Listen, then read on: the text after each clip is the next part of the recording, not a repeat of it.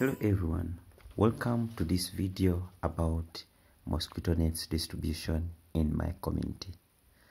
Before I go further, I would wish to give some information about malaria in Uganda. Malaria is a life-threatening disease that is transmitted typically by a bite of an infected female Anopheles mosquito. After an infected Anopheles mosquito bites a human being, it introduces the parasites into the body and they move to the liver where they mature from. From the liver, they enter the bloodstream and they infect our red blood cells. Within the red blood cells, malaria parasites multiply and they burst the red blood cells. So during that time, uh, that is when a patient gets signs and symptoms uh, like fever, headache, joint pains, muscle pains, and sometimes I've seen patients uh, with GIT manifestations like vomiting and diarrhea. Now, malaria kills very many people, but I've seen it uh, very dangerous in pregnant women, children below five, and people with other underlying diseases, or generally people who are immunosuppressed. So uh, we are targeting that population. Uh, that's why, as we moved, we ensured that uh, we told people about this disease, are the people who are at risk, and we encouraged the families that receive the mosquito nets to prioritize uh, those people in that group.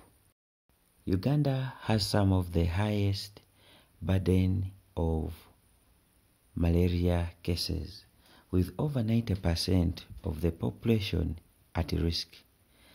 And by the way, malaria remains Uganda's leading cause of death, especially in children. It is responsible for about 30 to 50% of all the people who come for treatment as outpatient. That means people who can walk, and it is responsible for about 15 to 20 percent of the people that we admit. Uh, that means the disease is really dangerous.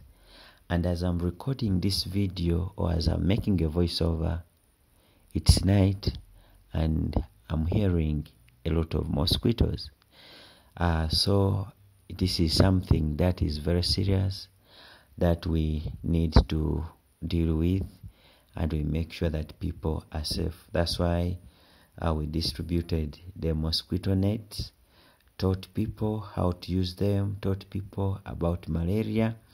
Uh, we did not only end on the mosquito nets, but we also taught people about other methods of prevention uh, like people clearing their bushes where they're sleeping, removing uh, things like broken pots, bottles that are empty where water can collect, and then that will act as a breeding site for mosquitoes. Uh, we taught people to fill the holes around their home, and we also talked about careful selection of the site of construction so that people should like avoid the areas that are heavily infested by mosquitoes. We hope that uh, these interventions will really help and that they will try to bring the burden, uh, like they will try to reduce the malaria burden. So as you can see in the video, we met several people in different uh, villages and uh, children, men, women, all of them were very attentive and they were very grateful of what we did. We also have an ongoing fundraising for the construction of the meal house where we want to produce flour for the malnourished children and other people who are immunosuppressed. Kindly check it out. This is the last place uh, where we are giving out the mosquito nets today. We've been able to move to several places. We've taught people about how they can prevent themselves from getting malaria. We've taught them about how they can use the mosquito nets properly. And we've discussed other health related problems or challenges and uh, we've answered people's questions and today that is where we've been able to stop. So uh, we've been able to give about 1,500 mosquito nets, but we hope to get more and we add in the future in case the funds are available. Uh, so I just want to thank all the people outside there who always watch my videos, all the people who are subscribing, commenting and sharing the work that we are always doing. I love you all. See you in the next video.